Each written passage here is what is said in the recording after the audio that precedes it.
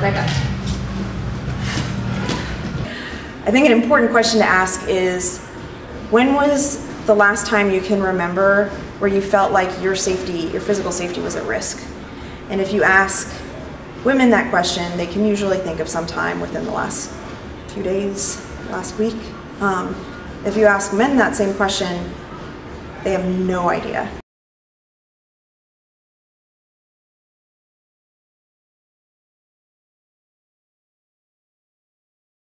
Watching her feet.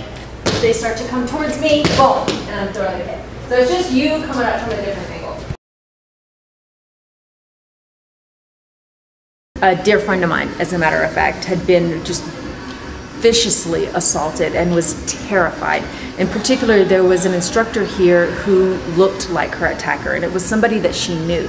And if she was in the room with him, she would start shaking. Just, it was so deep in her lizard brain, it was terrifying. So at first, she would go in the room and then she'd leave the room. And then she got a little more courage and she'd stay in the room.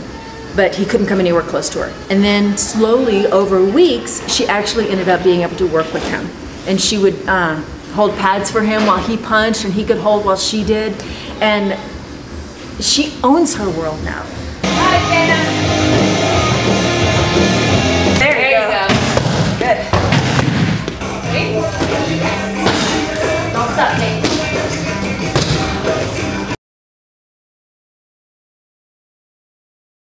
especially the um, the chokeholds, because that's actually happened to me.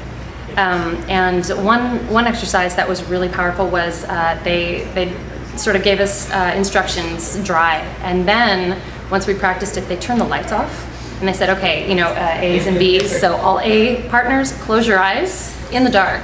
And B partners are going to walk around and just put their hands on people's throats and, and choke them. Like, not to the point of hurting someone, but to the point of um, surprising them and that was really really hard. Really really hard for me. But um, i just kept breathing and did it. And by the end of that class i felt like i had achieved something new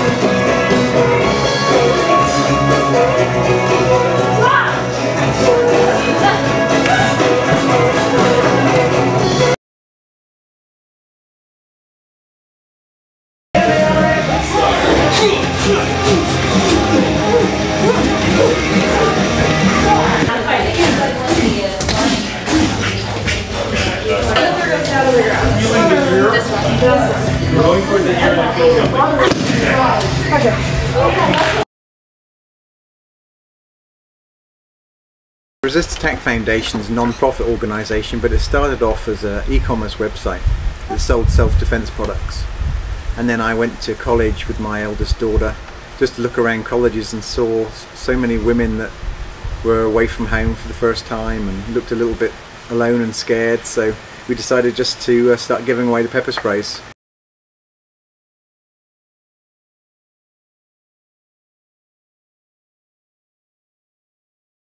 Fight back is a big thing.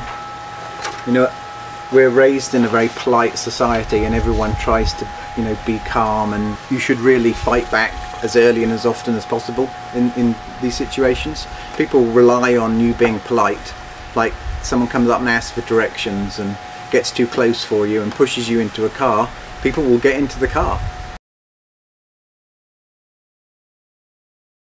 Uh, we hope never to have to actually use it. So it's more a matter of being prepared. It's like having insurance. You really hope you never need it. You hope that you never have to have life insurance, that you never, you don't want to be sick, you don't want to have to have house insurance, but it sure is nice when you need it. Okay.